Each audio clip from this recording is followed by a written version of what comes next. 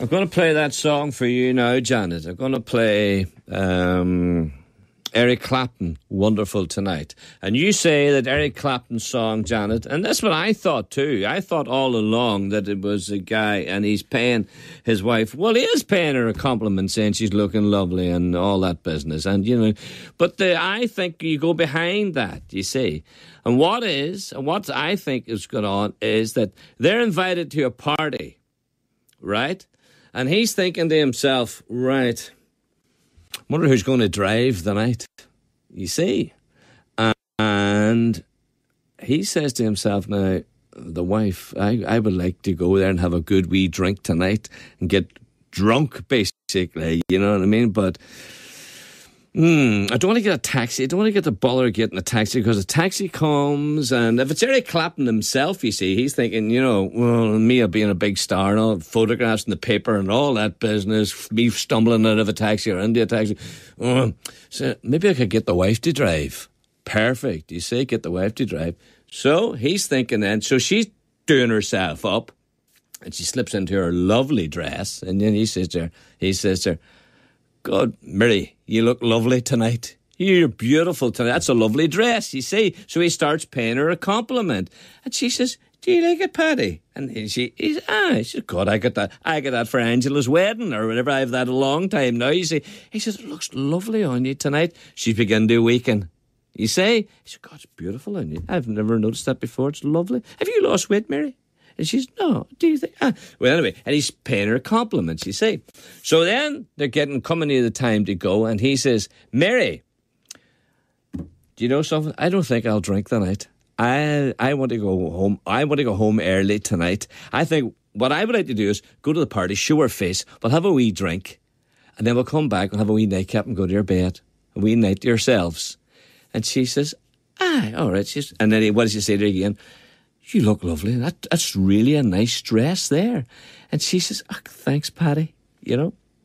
And then he says, Right, I'll drive the night. She says, No, no, I'll drive. So we'll not be there that long.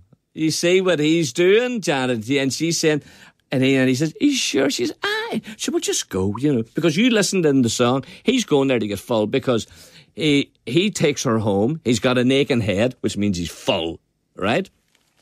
She helps him into bed, right? Helps him undress into bed.